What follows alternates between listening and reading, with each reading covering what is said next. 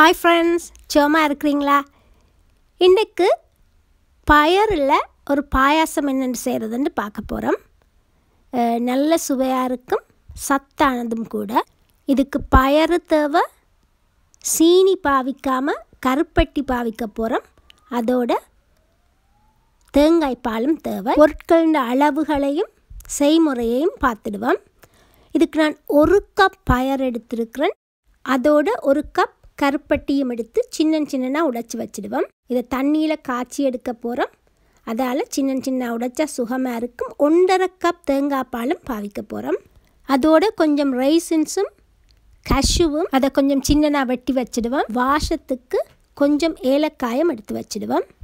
இப்போ நாங்கள் அந்த பயரை கொஞ்சம் பொன்னிறமாக வர மட்டும் மிதமான சூட்டில் வச்சு வறுத்தெடுக்க போகிறோம் அதில் கொஞ்சம் நிறம் மாறும் வாசம் வரும். அந்த நேரம் அடுப்பை நூற்று பயரெடுத்து வச்சிடலாம்.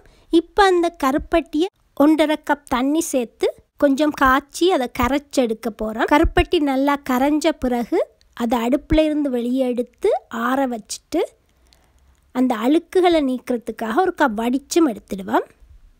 இங்கே கருப்பட்டி எல்லாம் நல்லா கரைஞ்சிட்டுது.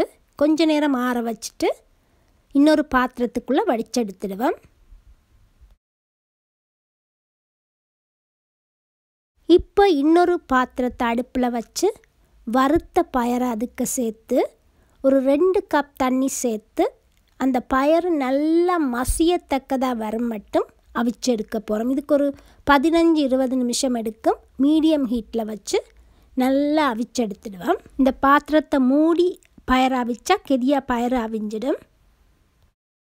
பயறு அவியைக்குள்ளேயே ஏலக்காயையும் இதுக்குள்ளே சேர்த்து கலந்து விட்டுடுவோம். அப்போ அந்த பயறு ஏலக்காய் எல்லாம் சேர்ந்து நல்ல வாசத்தோடு வரும். இந்த பயறு அவிஞ்சு கொண்டிருக்கிற நேரத்தில் நாங்கள் வச்சுருக்கிற ரைசின்ஸையும் கஷுவையும் ஒரு பாத்திரத்தில் கொஞ்சம் நெய் சேர்த்து அந்த ரைசின்ஸ் கொஞ்சம் பொங்கி வரும் மட்டும் கஷு கொஞ்சம் பொன்னிறமாக வரும் மட்டும் வறுத்தெடுத்து ஒரு பக்கமாக வச்சுடுவோம். இப்போ நாங்கள் பயரை செக் பண்ணி பார்ப்போம். அது நல்லா அவிஞ்சிருக்குது. ஒரு தட்டையான அகப்பையாலேயோ அல்லது இந்த இப்படி ஒரு மேஷராலேயோ நல்லா மசிச்சு விட்டுடுவோம். அரையும் குறையுமா? நல்லா நசிச்சு விட்டுட்டோம்னா அந்த பயத்து கஞ்சி வந்து கொஞ்சம் திக்காக இருக்கும். அல்லது பயறு தனியாக சேர்த்த தண்ணி பொருட்கள் எல்லாம் தனியாகவும் இருந்துடும். இப்போ இந்த பயத்துக்குள்ளே நாங்கள் வச்சுருக்கிற தேங்காய் பாலை சேர்த்து நல்லா ஒருக்கா கலந்து விட்டுடுவோம். கலந்த இந்த கலவையை ஒரு அஞ்சு நிமிஷம் மிதமான சூட்டில் வச்சு எடுத்துடுவோம். பிறகு இதுக்குள்ளே நாங்கள் கரைச்சி வச்சுருக்கிற கருப்பட்டி தண்ணியையும் சேர்த்துடுவோம். இதையும் மிதமான சூட்லேயே வச்செடுக்கணும். ஒரு அஞ்சு நிமிஷம் இதையும் வச்செடுத்துடுவோம்.